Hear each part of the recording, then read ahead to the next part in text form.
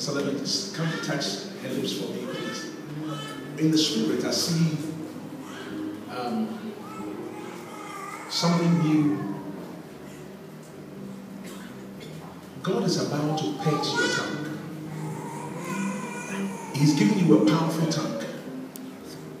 But He's going to work on your tongue today. And after He's worked on your tongue, you will use it skillfully to bring both judgment, success. Oh Jesus, you will you will conquer things with the same lips.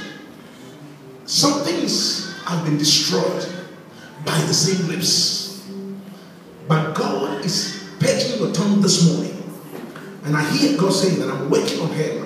And, and, and as God works on you right now, Jesus, I see in the spirit something that looks like a new veil. And all of a sudden, the veil was torn into two. And it is symbolic to what happened in the time of Jesus Christ. The veil was torn. And the, the, the fact that the veil was torn into two gives you access into a, a into a particular place where you couldn't access before. And the Lord just said to me that I'm bringing you into this new place, into this new level uh, in the name of Jesus. Uh, Father, I see, I see, I see in the spirit uh, you turning things around. Father, we give you glory.